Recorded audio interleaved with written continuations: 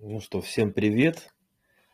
А, у нас сегодня очередная встреча. Была такая пауза определенная в этих встречах, потому что ну, были технические накладки, путешествия, перемещения. Вот, и сейчас опять, к счастью, есть такая возможность нам встречаться в режиме онлайн и а, продолжать беседы, размышления на различные темы, касающиеся даосской традиции, э, даосского учения, даосской практики, а также э, ее связи с нашими потребностями, с теми вопросами, которые возникают в отношении различных ее сторон, а связи ее с психологией, с медициной, с другими направлениями человековедения и вообще понимания природы, э, которые существуют в современной культуре, в традиционной культуре – Э, для того, чтобы просто, ну, как бы создавать еще одно, еще а, одно дополнение к тому семантическому полю, которое постепенно формируется вокруг вот этого феномена учения о Дао. И сегодняшняя тема, она тоже возникла, исходя из вопросов. То есть, когда люди начинают заниматься даосской практикой, они ищут в интернете, они слушают друзей или экспертов а, о том, где лучше заниматься, где лучше изучать э, не знаю, даосизм, какие даосские школы являются истинными, какие являются ложными. И очень часто звучит понятие традиционная школа, традиционное учение, которое как бы считается, ну, что ли, истинным или заслуживающим доверия. А вот. И в то же время есть а, его такой антагонист, это такой новодел. Э, новодельные школы, которые имитируют, ну что ж новодельные, это возникшие относительно недавно, но которые имитируют традицию. А вот. И а, тут можно очень сильно запутаться, потому что в чем разница между истинными традиционными школами – и в чем, э, в чем действительно э, могут быть э, их имитации, имитации традиции, вот, что для себя выбрать, кому доверять, возможно, надо как-то ориентироваться на одежду, возможно, как-то нужно ориентироваться на слова или на какие-то документы, которые существуют в летописях о тех или иных школах. Вот с этим вопросом попытаемся сейчас немножко разобраться. Опять же, ну, ни в коем случае я не претендую на какую-то истину. Это скорее тоже вопросы, которые я сам себе задавал на пути даосском и задаю по-прежнему. И как следствие э, пытаюсь найти для себя ответы, что является истинной школой, что является традиционной школой, в чем суть традиции, а, в чем суть э, инноваций, связанных с традициями. Потому что новодел и инновации не есть одно и то же. А, вот попробуем сейчас немножко вот э, мы на это, в, эту, в эту сторону посмотреть и об этом поговорить. Ну, во-первых, а, важно в принципе понимать, что есть традиция. Что есть традици... традиционное, а, что есть традиционализм и так далее. То есть это вообще само слово, оно приходит к нам, как многие слова из латыни традицию, что значит передача. То есть сама по себе традиция, вот само понятие традиция есть передача. Вот если раскрывать смысл этого слова, то традиция включает в себя набор ценностей, знаний и навыков, которые передаются из поколения в поколение и сохраняются в социальных группах в течение длительного времени. То есть это нечто, некий набор ценностных ориентиров, ценностей человечества, человеческой культуры, знаний и навыков, которые передаются из поколения в поколение. Таким образом, смысл, суть и задача традиции есть накопление, сохранение и трансляция этих самых ценностей, знаний, опыта и норм поведения в человеческой культуре. По сути дела, традиция является основой человеческой культуры в отсутствии вот этой способности накапливать и передавать знания из поколения в поколение, культура просто-напросто не существует. Поэтому к традиционным знаниям есть вот такое вот уважительное отношение. Надо сказать, что тради... традиция является наиболее устойчивой, во-первых, а во-вторых, стереотипной частью культуры. То есть устойчивость и стереотипность, значит, неизменность передачи является ее характеристикой. Опять повторяю, задача традиции есть накопление и сохранение э, опыта человечества для того, чтобы передавать его из поколения в поколение. Поэтому она является устойчивой и во многом является стереотипной, то есть неизменной. А, и вот что интересно по поводу традиции, по поводу вообще постижения традиционных знаний, что, что в традицию вообще-то не столько изучают, сколько в нее посвящают. Когда мы говорим посвящение в традицию, это довольно интересный феномен. Мы можем увидеть это совершенно в разных а, аспектах а, культурной жизни людей. Ну, например, посвящение в студенты в университетской среде. Например, посвящение в школы, там э, каких-нибудь э, значимых искусств, не знаю, художественную школу, школу боевых искусств, а, посвящение в религиозную традицию, христианскую традицию, там, исламскую традицию. Везде есть некий акт посвящения. Потому что особенностью передачи традиции является то, что она постигается вне рационально. То есть это такое целостное погружение в некую область уже коллективного знания, которое вот передается целостно и вне рационально, а потом постепенно раскрывается внутри человеческой личности человека и соотносится с его собственными ценностями. Итак, традиция постигается вне рационально, символически, и благодаря этому она способна организовать отдельных индивидуумов в единое целостное сообщество. И традиция не может быть сведена к частному мнению одного человека. Это особенность традиции. Очень интересно, что когда мы, как индивиды, а сейчас а, время Э, индивидуализма. Во многом современный мир очень сильно ориентирован на индивидуальное мнение каждого человека. И это важно, когда мы говорим, для меня это ценно. Вот мы, э, занимаясь, например, психотерапевтической работой, часто апеллируем к ценностям конкретного человека. Он говорит, для меня ценно вот это, для меня ценно вот это, я выбираю вот это, я выбираю вот то, сейчас такой объем знаний, такой объем информации, который приходит. И человеку сложно в этом разобраться, безусловно, но так или иначе этот навык соотносить со своим внутренним стержнем, со своими собственными ценностями является очень важным. Но когда на этапе выбора человек ту или иную традиционную область знаний для себя, э, ну, для себя выбирает как, как нек, некий путь дальнейшего развития, постижения, узнавания, это действительно его индивидуальное решение. Но в момент входа в эту традицию он как бы растворяется в ней. Он как бы открывается в нерационально, символически всему тому потоку знаний, ценностей, которые в этой традиции существуют. И уже потом, на моменте раскрытия, на моменте реализации э, этой традиции через свою собственную индивидуальную жизнь, так или иначе, все равно каждый из э, индивидуумов становится перед вопросом выбора – насколько это соответствует, насколько эта традиция соответствует тому э, образу жизни, который я живу. То есть вот этот момент диалектического единства, индивидуального и традиционного является частью человеческой жизни, частью танца, который мы э, проживаем в социуме и в, в той или иной культурной среде. Так или иначе, когда мы находимся в культурной среде, мы являемся частью этой среды. И мы согласуем эту среду, эту традиционную культуру со своим индивидуальным и персональным переживанием. Но традиция, она не может быть сведена к частному мнению одного человека, на то она и коллективная традиция, на то она и является тем э, скрепом, который соединяет различных индивидуумов в групповую целостность.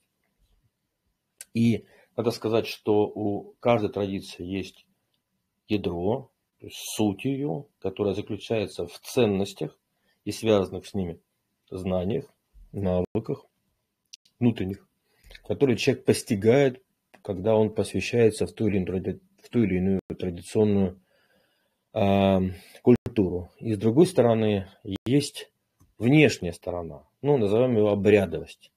И вот задача этой обрядовости э, есть, отра, есть отражение вот этих внутренних ценностей и знаний и облегчение, и облегчение символического доступа к таковым. То есть, когда мы э, говорим об обрядовости, она, и мы уже много об этом говорили раньше на наших беседах, э, обрядовость, задача обрядовости не сама, то есть обрядовость не является самоцелью, она является способом символического доступа вот к этому ядру традиции. И если мы говорим о, например, одежде обрядовой, то всегда одежда символическим образом нас соединяет с теми ценностями, которые есть внутри традиции.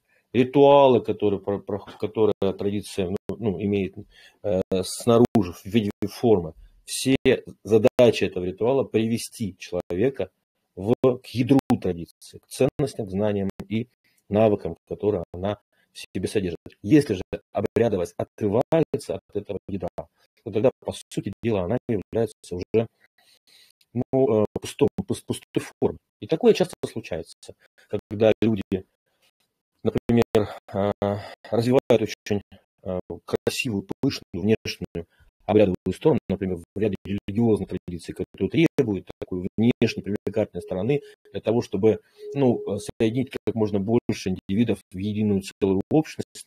Э, и, и это, с одной стороны, важно и значимо, но с другой стороны, часто за счет вот этого расширения поля привлекаемых индивидов э, традиция теряет э, самое главное, свое сердце, то есть которое, которое и является ее сутью, и люди совершают те самые стереотипные действия, стереотипное, а, ну, э, повторяя стереотипное поведение, чаще, часто могут терять связь с тем, что лежит внутри этой традиционной а, культуры. Поэтому очень важно, что внешняя форма традиции, обрядовая сторона традиции обязательно должна сочетаться с ее ядром, с ее сердцем. И наоборот, сердце очень часто сердце традиции, знания традиции а, а, могут использовать внешние обрядовую, внешнюю обрядовую сторону для того, чтобы стать более а, привлекательным, не то что даже привлекательным, чтобы облегчить доступ внутрь и а, стать и, и соединить людей через, символический, через символизм вот этой обрядовой стороны. Вот это тоже очень важный момент, потому что когда мы говорим о имитации традиции, то она может происходить на, на разных уровнях. И один из самых частых уровней имитации традиции – это, ну, скажем так, уже не обрядовость, а когда мы говорим ряженые. Когда люди рядятся в те или иные одежды, не понимая, зачем они нужны, или повторяют те или иные формы поведения, не понимая, к какому состоянию э, э, это символическое поведение должно привести. Поэтому очень важно понимать, да, что стоит за вот этой а, внутренней составляющей, как а, часто говорят, да, если одеться в одежду буддиста, это не значит, что, что, что ты обретешь сердце буддиста. Если одеться в одежду даоса, не значит, что, что ты обретешь сердце даоса. Конечно, сердце даоса это самое главное.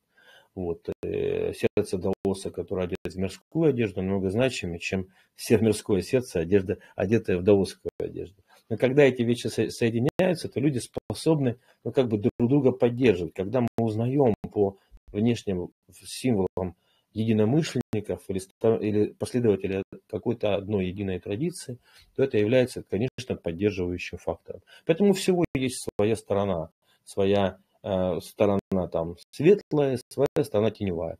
И когда мы это хорошо понимаем, то это дает нам возможность более грамотно совершать выбор. Э, итак, э, когда мы говорим о какой-то школе, по линии передачи школы, которая, ну вообще какой-то школе, а, которую мы можем назвать традиционной, то у этой школы должно быть как минимум три определенных признака. Первый признак – это преемственность. То есть знания должны передаваться из поколения в поколение, от учителя к ученику и далее. В ядро этих знаний остается практически неизменным. То есть вот ядро традиции остается неизменным, оно передается дальше. Итак, преемственность – это одна из важнейших, один из важнейших факторов традиционной школы, потому что, как вы помните, а, само название традиции – это есть передача. передача знаний из поколения в поколение. Второе. Традиция должна быть признана. То есть традиционным является только то, что признается. Потому что если я, если ну, некие, э, некие ценности, которые постулирует один человек или там группа из двух человек, а, она никоим образом не разделяется большим сообществом, то вряд ли можно назвать это традиционным. Итак, это должно быть признанное знание. Преемственность – первое качество, второе качество – это признание. И третье качество – это а, наличие не менее чем трех поколений передач. А, вот э, когда мы говорим о том, что школа может называться традиционной, то как минимум от момента ее образования должно пройти три поколения. И первое поколение это патриарх. Кстати, патриарх называют именно того, кто является отцом-основателем данной конкретной школы. И потом еще как минимум два поколения, через которые, через которые передаются эти знания, или которым передаются эти знания. Эти знания выживают, эти знания продолжают давать свои плоды и проверяются временем. Итак, еще раз. Три признака традиционной школы – это преемственность, признание, наличие не менее чем трех поколений передач. Вот если мы видим какую-то школу, называется традиционной, и мы смотрим на то, что да, эти знания были там э, сформулированы или постулированы вот таким-то патриархом, они признаются в большинстве людей, которые там следуют ему, или, или в параллельной школе. Вот, они передаются из поколения в поколение не менее чем в трех э, ступенях, то есть в трех поколениях мы говорим, да, эта школа может действительно называться традиционной. И а, любая традиция, задача которой является сохранение, а, никогда не могла бы по-настоящему выжить в этом парадокс, диалектический парадокс, который отражен в единстве двух сил инь-ян, да, э, ни одна традиция не могла бы выжить без э, инноваций. Потому что инновация, задача инновации – это развитие. Э, само слово инновация тоже происходит от латинского слова новацию, что значит обновление, изменение, а приставка ин, инновация – это направление, то есть в направлении изменений или развития. Вот. То есть это инновация, это то нововведение, которое уже внедрено или внедряемо, и которое соответствует актуальным социальным и культурным потребностям группы людей. И поэтому задача инновации – это развитие и отклик на потребности современности. Итак, традиция отвечает за сохранение, инновация отвечает за развитие. И они сосуществуют друг с другом. Надо опять же сказать, что практически все традиции когда-то были инновациями. Эти инновации были проверены временем и э, показали свою эффективность, поэтому стали достойны того, чтобы сохраниться в культуре в качестве традиционных знаний. Традиции не, не возникали из ничего, они всегда возникали из инноваций. Поэтому вот эта вот связь и а, танец между традицией и инновацией является важнейшей частью человеческой культуры. И вот как взаимодействуют традиции и инновации? Ну, естественно, традиционные знания всегда э, достаточно консервативны. Люди, традиционалисты и ряд людей чисто исходя из особенностей личности, они так склонны к э, традиционным ценностям, к таким, знаете, вот фундаментальным традиционным ценностям, и они очень скептически относятся к инновациям. Потому что отражают вот особенность традиции. Традиция пытается проверить любое нововведение на то, насколько действительно ценно или полезно. Поэтому любая традиция сначала сопротивляется инновации. И в, этой, в этом сопротивлении, ну, как может почувствовать новаторы, есть некие, не, некая не такая негативная э, сторона э, традиционных знаний, на самом деле это просто то, это просто та ее особенность, которая позволяет проверить и отобрать те новшества, которые действительно будут полезны группе. Потому что, ну, безусловно, выживают не все э, как бы мутации человеческой культуры, а только те, которые жизнеспособны и которые помогают развиваться и жить человечеству в согласии с естественными законами природными. Итак, сначала это всегда сопротивление. Потом в какой-то момент, если, если, это, если это сопротивление преодолевается, если новшество тем не менее, интересует какую-то группу людей, происходит некое параллельное сосуществование. Вот есть традиционные знания, вот есть параллельное развитие неких инноваций, и они как бы присматриваются друг к другу. Но обычно традиция присматривается к инновациям, а инновации так это, ну, скажем, в подростковом таком режиме, э, иногда протестном, а иногда наоборот, э, попытка что-то доказать, они вот активны, они активны в поиске своего места под солнцем э, человеческой культуры. Итак, это существование, сосуществование вторая стадия. Э, постепенно, если в процессе этого сосуществования э, новшества дают свои результаты, они потихонечку, потихонечку начинают, ну, скажем, признаваться традицией. И появляются такие компромиссные формы, которые там называются палиации, да, а, или, или или смеш, смешение традиционных знаний и а, инновационных а, э, введений. Итак, вот этот момент смешения, образования палиации, компромиссных форм является тоже очень важным этапом, э, когда э, традиция как бы вбирает в себе инновации. И уже как только эти инновации передаются, опять же, уже потихонечку из поколения в поколение, вместе с э, другими знаниями, и они проходят испытания тремя поколениями, мы можем сказать, что вот такая вот инновация становится э, уже традиционным знанием, становится традицией. Она сливается с традицией и превращается в традицию. Поэтому вот э, такая диалектика этих отношений, инноваций и традиции, и традиции – и без э, двух этих составляющих человеческая культура не могла, не могла бы развиваться, как автомобиль не может ехать без газа или без тормоза. Вернее, он, конечно, может ехать без тормоза, но, скорее всего, разобьется, а, но без газа он даже не тронется, хотя и будет, может быть, находиться в некой безопасности. Так вот это вот иньян человеческой культуры представлен такими двумя большими тенденциями. И а, это касается культуры вообще, естественно. А, это касается культуры отдельных народов или очагов культуры, которые возникали в различных местах. Европейская культура, которая развивается в Греции, ну, там ее точка развития – это Греция. И, конечно, это касается и даосской традиции. Ну, в данном случае мы э, и те, кто здесь собрались, так или иначе связаны с изучением даосизма, вот, как э, одного из феноменов человеческой культуры.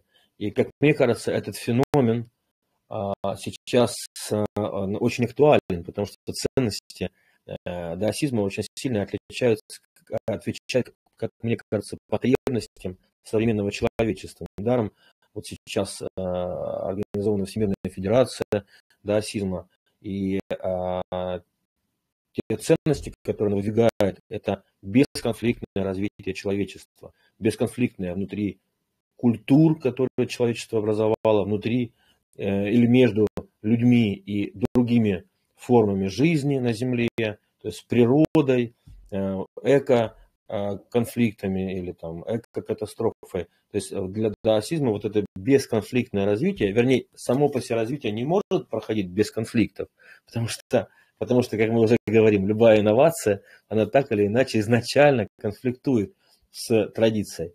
Это, это видно в природе, когда, например, э, зимний сезон сменяется весенним сезоном, это приводит к определенным катаклизмам природным. Но вот вопрос, как себя вести, чтобы проходить эти катаклизмы без разрушения, а на этапе развития и созидания, зная их особенности, потому что точно такие же катаклизмы существуют и в человеческой культуре, которая развивается, и в процессе развития она может а, вот эти конфликты э, проявлять в виде войн, а может в виде определенных прогрессивных взглядов. И часто можно сказать, что а, феномены человеческой культуры, они, человеческой культуры, они могут, они могут способствовать вот такому, ну, скажем, прогрессивному развитию, либо приводить опять к регрессу и к, ну, к э, более, э, ну, скажем так, примитивным формам решения этих конфликтных ситуаций в виде войн, насилия, уничтожения, что уже входит в достаточно сильный диссонанс с теми ценностными ориентирами, которые у, человеческого, у человечества э, существуют. Поэтому мне кажется, что э, момент вот, более активного распространения ДАСИ на сегодняшний день очень актуален времени.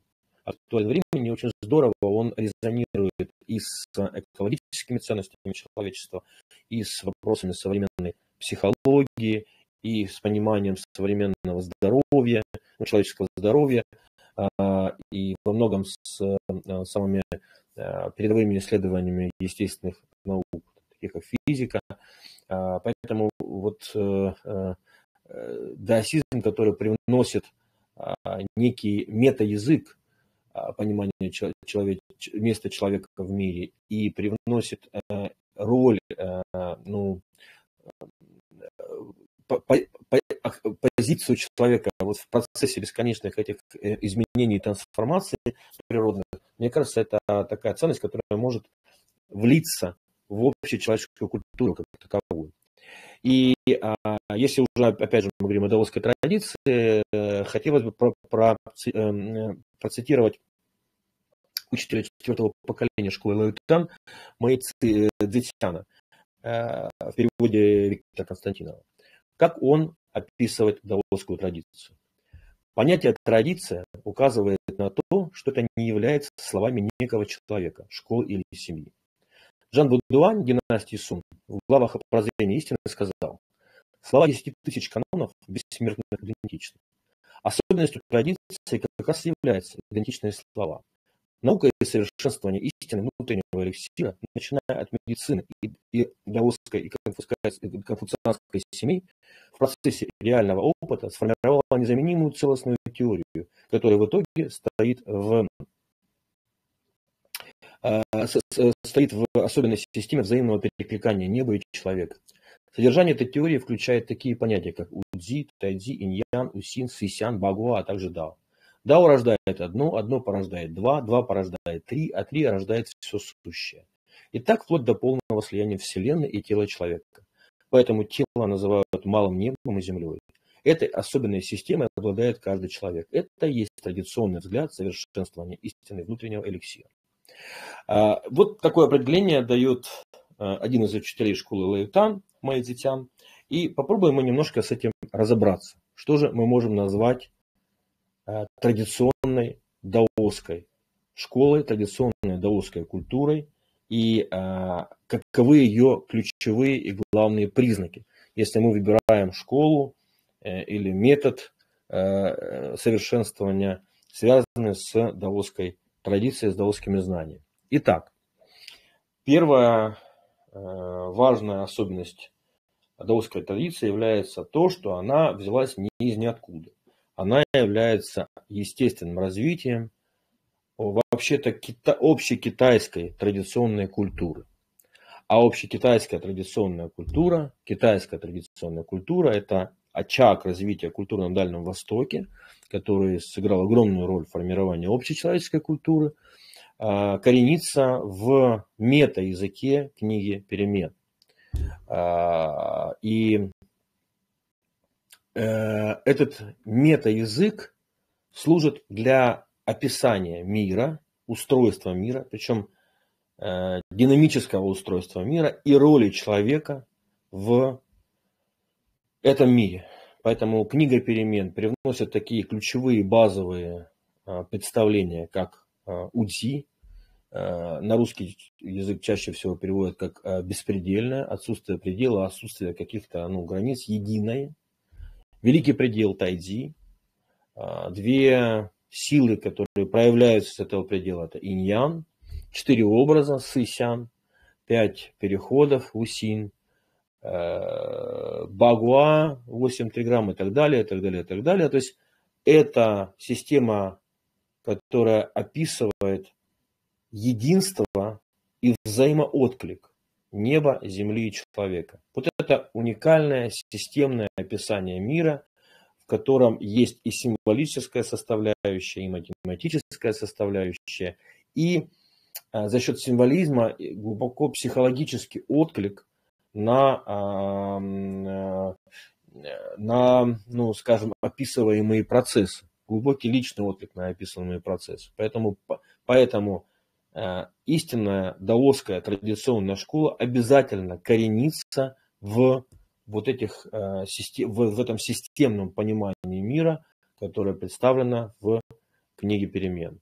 И если мы говорим, что мы хотим изучать традиционную китайскую культуру и хотим изучать традиционную даосскую культуру, и мы э, идем в даосскую школу, то понимание, углубление своего понимания книги перемен является важнейшим фактором, э, скажем, формирующим вот это мировоззренческое, мировоззренческую позицию человека, потому что оперирование этими, образами позволяет э, быть довольно успешным и хорошо ориентироваться не только в, ну, скажем, понимании организации внешнего мира, но и на пути внутреннего совершенствования, потому что этот метаязык используется практически для описания всех процессов. Итак, корень даосской настоящей школы – это книга перемен. И если вы приходите в школу, в которой этого корня не прослеживается, нет глубокого понимания процессов, описываемых в книге перемен, нет глубокого изучения, то, скорее всего, и корень этот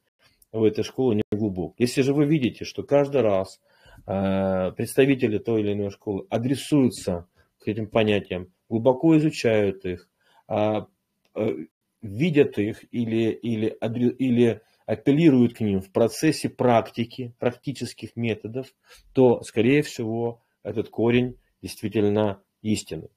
Эм, и это общее для всех даосских школ. То есть для всех абсолютно даосских школ укоренение в книге перемен является э, важнейшим фактором. А дальше, стержень. Ну, если мы говорим корень, то есть стержень, ствол, ну или опора да, э, даосской традиции, традиционных даосских школ. Это три драгоценности. Они сформулированы в настоящий момент как единство трех драгоценностей – дао, учение и учитель. То есть дао, дин и Ши. Э, итак, DAO. Э, понятно, что DAO это что-то, что лежит в основе самого названия даосской традиции. Да? Это некое трансцендентное понятие единой целостности мира, не, неразделимости, да, э, единого кома, как Джоан записывает, неразделенного мира – единая хунь-юань-си, изначальная ци, которая есть субстрат всего сущего и которая является, ну, которая следует естественным законам в, нем, в, ней само, в ней самой заложено. То есть есть разные слова, с помощью которых можно описывать вот это неописуемое, потому что подобно тому, как физики пришли к э, реальности микрочаст... микромира, квантового мира и поняли, что невозможно описать его привычными нам словами, потому что он непостижим э, посредством тех слов, которые мы видим реальность, ну скажем, уже макромира, и, и поэтому либо описывается он символически, либо описывается математически. Также и даосы, или Лаоцзы говорит, ну как бы на, через силу назову это дао, то есть, э, потому что другого слова нету ну или есть другие слова, неважно, какими мы словами не описывали, но вот то, что описывает Дао, является чем-то чем-то запредельным, но, но определяющим все. Оно находится за пределами, но в итоге определяет все сущее. Вот. И здесь действительно интересно, как вот представление Дау резонирует во многом с современными научными исследованиями. Или, например, с представлением о бессознательном сознании потому что бессознательное то и бессознательное, что мы никак не можем его осознать, но мы осознаем его по косвенным признакам. И через, и символическим, через символический язык мы можем судить о нем. Так же, как по косвенным математическим там, э, или, или, или на уровне косвенных признаков физических опытов или, опытов или, э, или посредством математических э, формул мы можем судить о том, как устроен микромир, основа бытия, основа мироздания.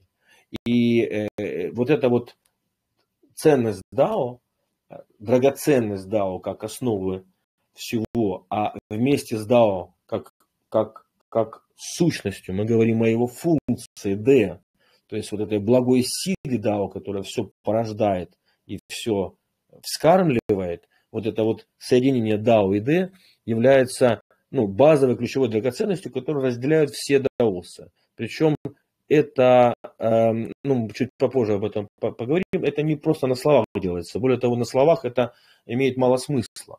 Э, когда мы говорим о том, что мы в своей жизни стараемся согласовать, быть согласованным с э, естественным законом Дао, это значит, что э, мы, мы, мы следуем естественным законам природы и посвящаем себя, подобно Дао, проявляющим Д, мы посвящаем себя помощи всему живому. Причем это не просто, это не моральные вещи, это естественный процесс трансформации человека, постигающего свою подлинную природу. Поэтому мы говорим о том, что ну, истинный даос, он не столько словами это передает, сколько своими действиями, сколько своими поступками. А, поэтому вот эта драгоценность Дао является ключевой, но в то же время непостижимой напрямую. И поэтому второе, вторая драгоценность называется дзин. Уч, ну, на русский переводится часто как учение, но по сути дела это трактаты, которые одновременно, ну вот этот иероглиф дзин, он, он значит трактат, описывающий фундаментальные основы, э, ну, фун, некие фундаментальные знания. И в то же время это дорожка, по которому мы, по которому мы, ну, по которым проявляется DAO и по которому мы можем прийти к DAO. Потому что даже вот процесс даосского совершенствования, который называется сю DAO, то есть исправление себя, э, чтобы согласоваться ну, с естественным законом DAO. Вот учение Дзин – это с одной стороны, набор тех текстов, которые существуют, эти тексты, опять же, традиционные, они общепризнаны. Одно, об одном из них мы сказали, это книга перемен. В различных ее прочте, э, уже трактовках, э, э, там, комментариях и так далее, и так далее, но тем не менее, это фундаментальный базовый текст. Мы также говорим о, например, трактате желтого императора о внутреннем, как базового тексту, который описывает а, ну, путь здоровья человека, который живет в согласии с Дао. Или инфудин э, – это канон секретной печати, который описывает связь человека и неба, то есть взаимный отклик неба и человека. И, ну и, конечно, Дао Дэ Цзин – это текст, который вообще, в принципе, постулирует а, путь а, человека в, этом, в согласии с Дао как путь мудреца и путь правителя. Две стороны, путь мудреца и путь постижения себя и путь служения. А, и, и так далее, и так далее. Дальше, после этого, появляется множество других текстов, которые раскрывают эту идею. И это есть вот те самые каноны, есть уже там на них комментарии, есть уже более, э, ну, скажем, конкретно, ну, тексты, признаваемые в различных школах, песни ну, о том-то, о том-то, о том-то, но тем не менее они все выходят корнями оттуда. Нет ни одной школы даосской, которая бы не признавала Даудзин, которая бы не признавала Инфудзин, которая бы не признавала Айдзин и так далее. То есть там основа, которая потом раскрывается различными учителями, различными линиями, различными, ну скажем, ответвлениями даосских Э, школ э, в тех или иных форматах. Но корни у всех, опора, стержень вот в этом учении. И опять же, как дальше, как мы уже автоматически переходим к следующей, третьей драгоценности, учитель Ши или Ши-Фу. А, учитель как отец, который передает знания, а, который позволяет правильно понять, что же в этих трактатах таки написано – Потому что когда мы просто подходим к такому трактату, начинаем читать, то это кажется совершенно запредельным языком, имеющим очень мало отношения к действительности. Именно учитель является тем а, важнейшим звеном, который позволяет раскрыть смысл учения и дать методы, позволяющие эти учения конкретно воплотить в моей жизни. Если этого нет, то учение, естественно, это мертво. Итак, э, любая даосская школа, она принимает эти три драгоценности. Это дао, учение, о Дао, которая позволяет раскрыть суть Дао, трансцендентную суть Дао посредством определенных смыслов и методов. И учителя, который эти смыслы и методы непосредственно передает из поколения в поколение. И а, опять же, конечно, вот с учителями, которые передают из поколения в поколение, могут быть разные вопросы. Опять же, мы уже в одной из э, наших бесед говорили о признаках истинного учителя, ложного учителя, но а, иногда может так случаться, что линия преемственности, это, это важный фактор традиционной школы, линия преемственности учителей, она может подделываться, она может теряться, она может, ну, не знаю, имитироваться. Довольно сложно бывает проследить всю линейку, хотя это важная часть, и э, ученые, историки, э, исследователи традиции, они работают над восстановлением истинных линий. Но зачастую важнейшим фактором истинной передачей линии является не только письмена, которые внесены куда-то, что такое-то является учеником такого-то, а именно глубокое понимание учения и передача методов, которые позволяют это учение воплотить в жизнь. И потому, как выглядит и ведет себя сам учитель, он смог ли он это учение воплотить в своей жизни. И то, как он передает знания, и как его ученики смогли или не смогли на самом деле это все воплотить в своей жизни, можно тоже судить об истинности передач. Потому что зачастую мы можем закопаться в архивах и искать, а, а действительно ли этот человек существовал, или так ли он передал, или не так передал. Но мы сейчас можем сказать, что да, в каком-то участии в университете, изучая историю, или медицину, или психологию, или, или юриспруденцию, мы можем видеть сотни студентов, и каждый из этих студентов будет, будет ну, иметь разные качества, разные способности. Конечно, конечно, в традиционных школах знания передаются более выборочно, и учителю очень важно находить тех людей, которые способны принять знания и передать их дальше. Это тоже это очень важное качество, способность принимать знания и способность их передавать дальше. Но вот а, тем не менее, а, все-таки самым главным критерием является не только вот, описание линии преемственности, но и способность методы, которые передаются, и ценности, которые передаются в этой линии, воплотить в своей собственной жизни и передать ученикам, которые тоже способны сделать то же самое. Итак, вот это является стволом, стержнем даосской традиции. А, итак, первое, корень, книга перемен. Вторая, опора, три драгоценности, да, учитель, учение и учитель. Сущность, Сущность даосского учения – это самосовершенствование. Тут можно сказать, что даосизм невероятно полиморфное образование, и мы можем видеть огромное количество различных искусств внутри даосской традиции. Это искусство медицины, это искусство предсказания, это искусство, не знаю, организации пространства фэншуэй, это искусство э, ну, там, да, фашу, э, даосской магии или даосского ритуала. Это, это большое количество различных искусств, которые, которые э, культивируются внутри вот, этой, вот этого феномена даосского учения, но сущность это, это путь совершенствования и возвращения себя к Дао, сюда. И это не просто совершенствование, это парное совершенствование, син и мин. То есть совершенствование син и мин.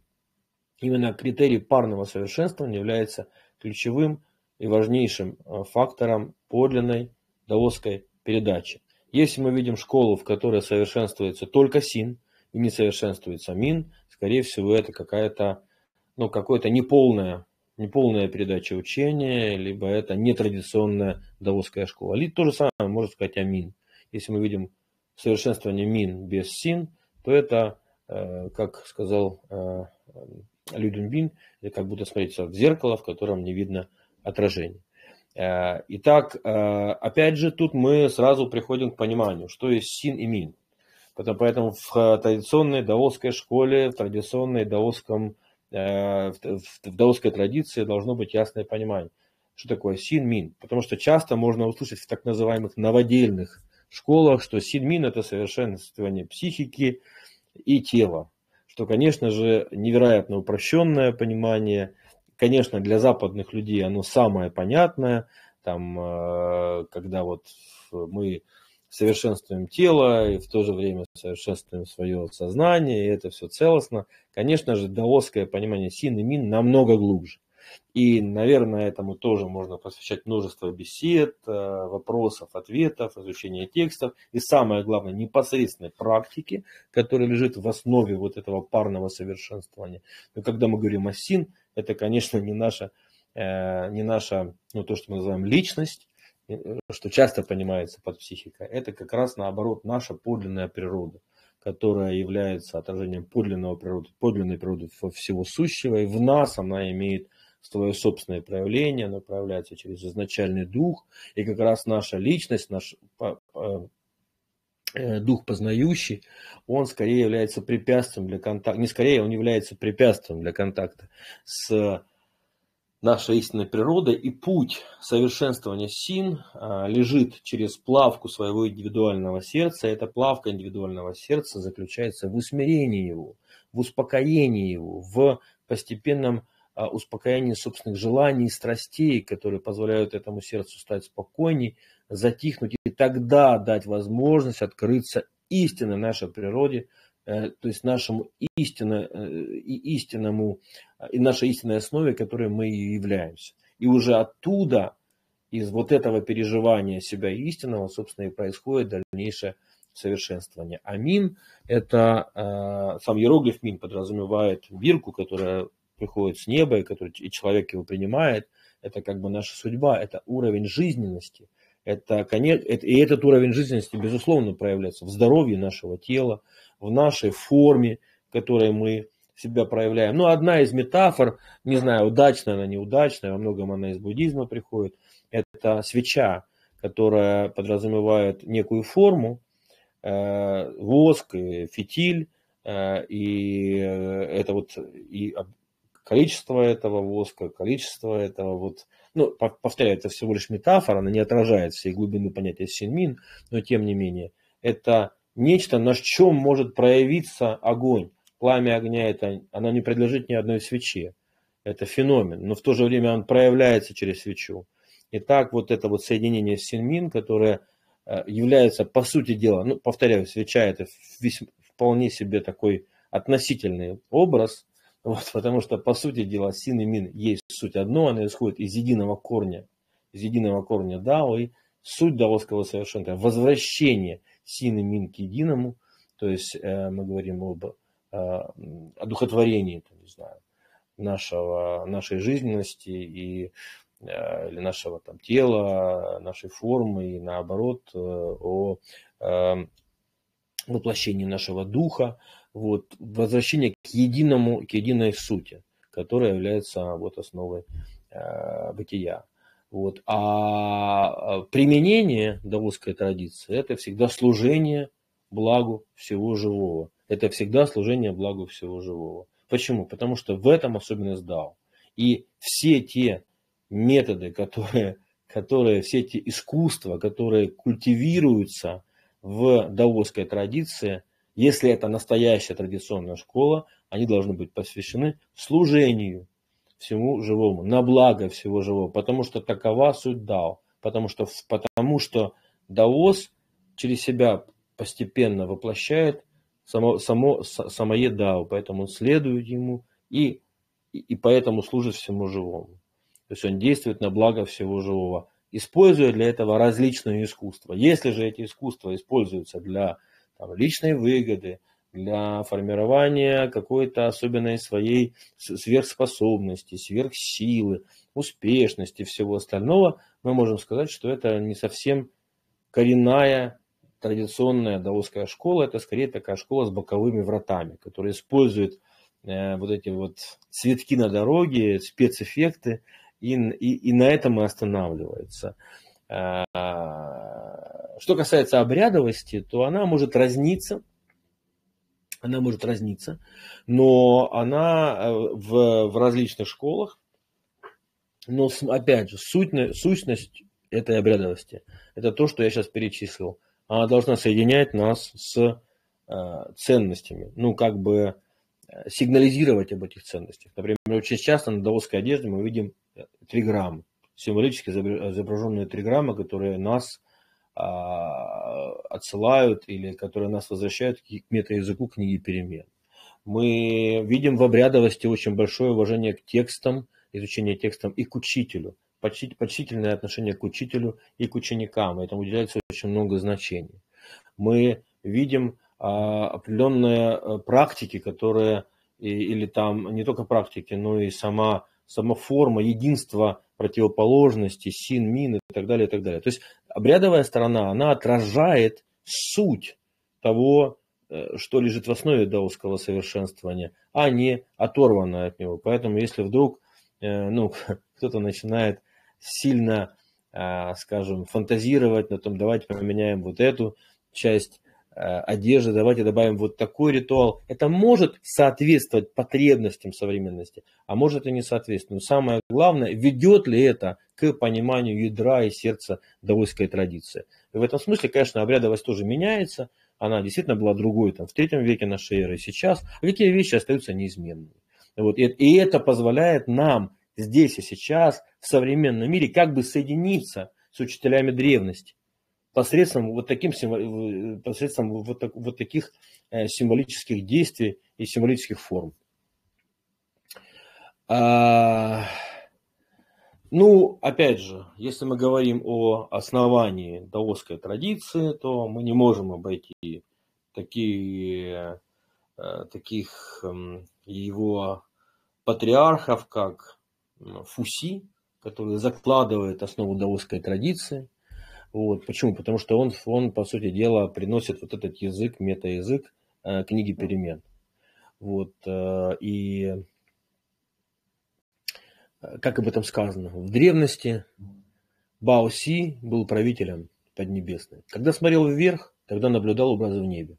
Когда смотрел вниз, тогда наблюдал образы земли. Наблюдал узоры птиц и зверей и соответствие земли. Близкое брал у себя, далекое брал у вещей. Исходя из этого, вначале создал 8 триграмм, чтобы проникнуть в добродетель, просветленного духа и распределить по родам э, суть 10 тысяч вещей. Создал узелки на веревках, сплел сети и селки, чтобы охотиться ловить рыбу, ну и так далее. То есть вот здесь описывается, что, по сути дела, заложил описание мира под Фуси. Да? И э, как говорит Лю Дунбин, передача Дао Фуси вплоть до сегодняшнего времени – это досконально исследовать принцип, постигнуть син и добраться до мин. Поэтому Фуси – один из базовых родоначальников даосской традиции. Ну, нельзя, конечно, его оторвать от Шинуна и так далее, и так далее. Я сейчас не буду углубляться в детали, но тем не менее, Фуси закладывает основу даосской традиции. А, Хуанди, э, по сути дела, показывает пример. Ну, во многом это уже это полумифические существа, да, это полумифологические существа, потому что они уже являются образами, символами традиции. И Хуанди в своей жизни, Желтый Император, он свою, свою жизнь, сама его жизнь есть символ правления, потому что он, с одной стороны, является э, правителем Поднебесной, совершенным правителем Поднебесной, с другой стороны, он таким становится, потому что он отправляется на первое, с чего начинает свое правление, он а, идет обучаться, да, он направляется к мудрецу Гуан Чензы, вот, э, которого просит обучить его мудрости, чтобы правил он, исходя не из своих собственных личных представлений, а исходя из вот, э, сущности Дао, высочайшей сущности Дао. Вот, э, и Хуанди также приносит представление о жизни человека в согласии с естественными ритмами природы. Отсюда берется базовый принцип медицины и яншен, то есть э, поддержание здоров- здоровья человека и общества. Хуанди в то же время был новатором, потому что уже он, э, как бы принимая Поднебесную в ее совершенном виде, столкнулся с э, э, мятежом Чиюя, и он пытается этот мятеж как-то разрешить данный конфликт и получает от сокровенной девяти, девяти небес стратегии, военные стратегии, военное искусство, которое оказалось потребно сейчас и которое позволило подавить мятеж Чиюя, но в то же время это военное искусство является традиционным для даосизма, потому что его задача не завоевать, не уничтожить, а прекратить насилие. В самом иероглифе У военная, есть остановка насилия. Поэтому, опять же, вот этот новаторский подход, привнесение нового искусства в, э, в даосскую традицию Хуанди, по сути, отвечает его базовым, ее базовым ценностям. Это поддержание равновесия, мира, и Хуанди является воплощающим вот такую, э, такого идеального правителя, служащего Поднебесной. Ну и, конечно, Лао Цзы, который, опять же, все это э, для Даоса абсолютно живые Э, живые э, персонажи, живые учителя, основоположники, патриархи традиции, для, возможно, для ученых, для современных, это полумифологические образы, но для Даоса это, это совершенные люди древности, которым пытаются подражать. И Лао Цзы, он, он открывает сокровенные врата даосской традиции. После его трактата Дао Дэ Цзин, который описывает путь путь постижения мудрости и путь правления, служения а, всему живому а, посредством этой мудрости, а, то есть воплощение пути правителя, основывающейся на мудрости Дао, вот Лао по сути дела, формулирует вот это представление о Дао, и мы имеем в итоге начало такой вот уже целостной даосской традиции – после э, Лао Цзы. После Лао Цзы часто школу называли там Хуан Лао Сюэ, то есть учение э, желтого императора Лао Цзы, там учение Дао и Дэ, это все разные названия одной и той же даосской традиции. И впоследствии даосизм приобретает два таких больших течения. Одно из них условно разделяется на два больших течения. Одно из них это Дао Цзя, это более раннее, возникшее от Э, Лао Цзы, Хуанди, э, что часто переводится на русский язык как даосская семья или даосская школа, потому что иероглиф дзя обозначает семья, именно семья. Ну, возможно, в русском языке несколько другое семантическое значение это приобретает. Ну, это как бы э, такое внерелигиозное учение о дао, которое самый главный, самый главный фокус ставит на э, внутренней практике совершенствования. И впоследствии Э, откликаясь на потребности общества, появляется некое даосское учение, или, как часто говорят, религиозный даосизм, или организованный даосизм, правильнее было бы сказать, это дао-дзя, даосское учение, которое э, оформляется во времена поздней династии Хан, благодаря Хань, благодаря деятельности Джану, Джана Даулиня, Даулина, вот, э, который в, основал в провинции Сычуань школу Пятиковшериса. Вот. И здесь уже очень важным является не только внутренняя практика в даудзяо, но и определенная обрядовая составляющая, позволяющая структурировать социальную группу практикующих. И опять же, это, это, это возникло в ответ на потребность общества, тогда буддизм очень активно развивается в Китае, и даосы сейчас э, как бы свою форму э, социального распространения знаний, социального, э, социального взаимодействия, они приходят вот в такой вот форме дао-дзяо.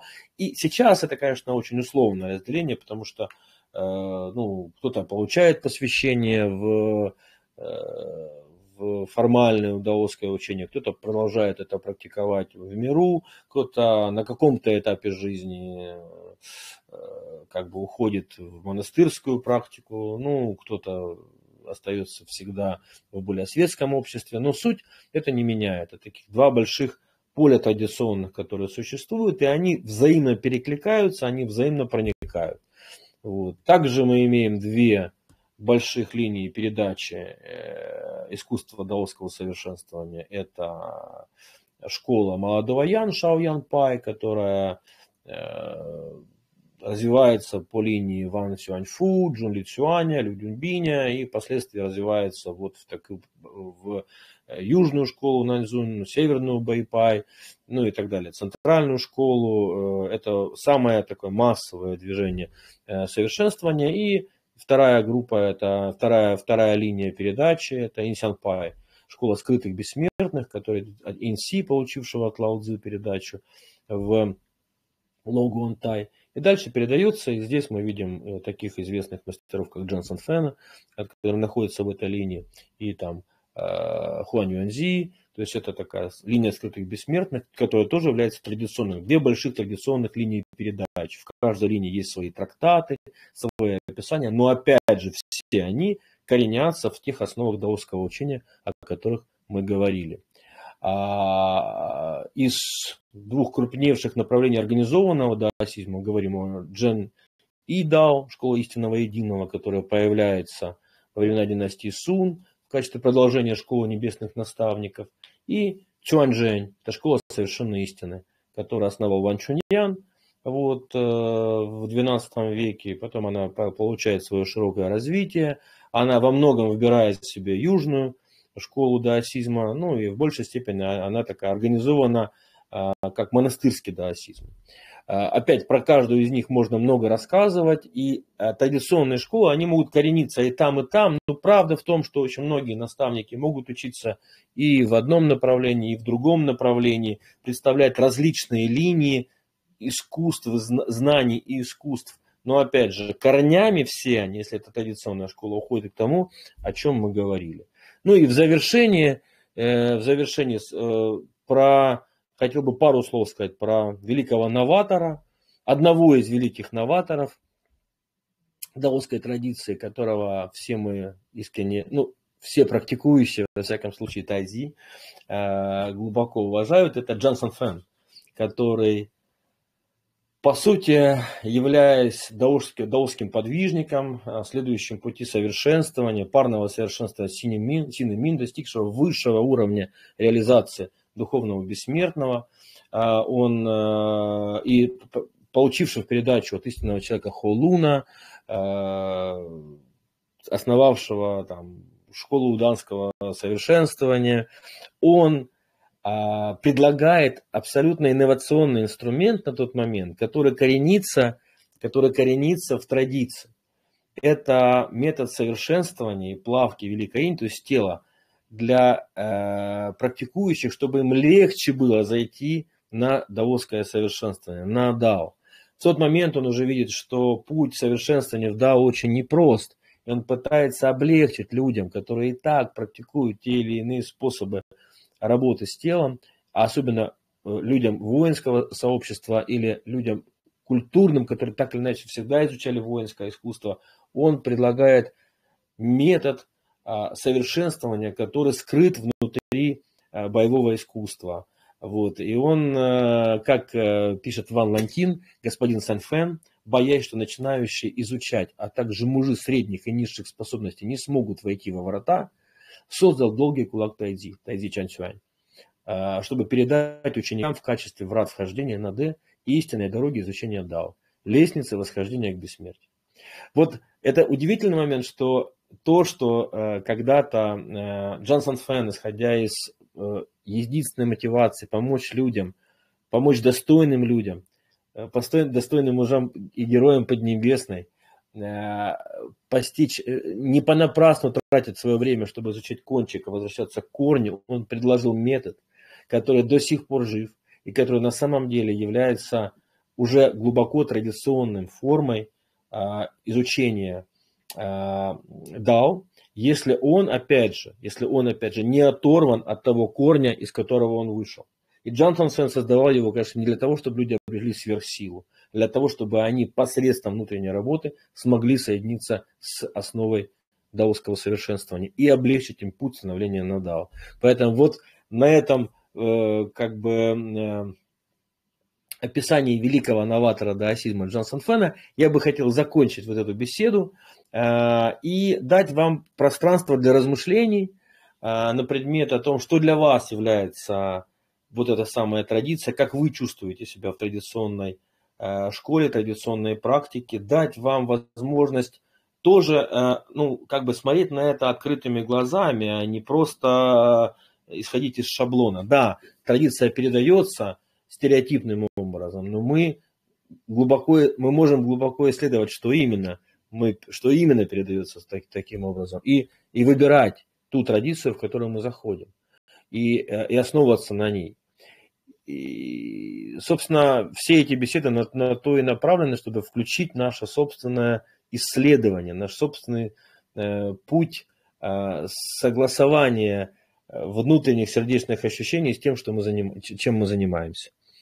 Э, большое всем спасибо. Пару слов для тех, кто э, практикует вместе с нами. К счастью, мы ну, нашли новое место для нашей дао-студии Сюаньмэнь. Это центр, э, центр «Открытый космос». Там есть прекрасные залы для практики. Там мы планируем арендовать определенное помещение, где где будет ну, как бы перенесен дух нашей студии, он там тоже будет храниться и развиваться. И мы уже с 13 февраля возвращаемся к регулярным занятиям. Они будут проходить по вторникам и, и, и четвергам вот в студии Шаньмэнь, в, в центре «Открытый космос». А, также там же будут проходить и наши холотропные дыхания, Э, там же будут проходить интенсивы, связанные с даосской практикой. Мы хотим раз в месяц как минимум один день посвящать углубленному, углубленным занятиям, э, ну, хотя бы 6 э, часов в день, связанных с практикой. Вот. И, естественно, все наши чаепития, беседы, встречи тоже, надеюсь, в этом пространстве мы развернем в полном объеме. Огромное всем спасибо за внимание. Пожалуйста, пишите ваши комментарии, пишите вопросы, соображения. Все это здорово, если это живой отклик, это живое общение и эм, э, живое взаимодействие, потому что традиционно является ценным только когда оно живет здесь и сейчас с нами, в нашей жизни, удовлетворяет наши собственные потребности, э, ну, э, которые мы которые мы реализуем благодаря ей. Всем большое спасибо и до встреч в, в офлайн и онлайн. До свидания.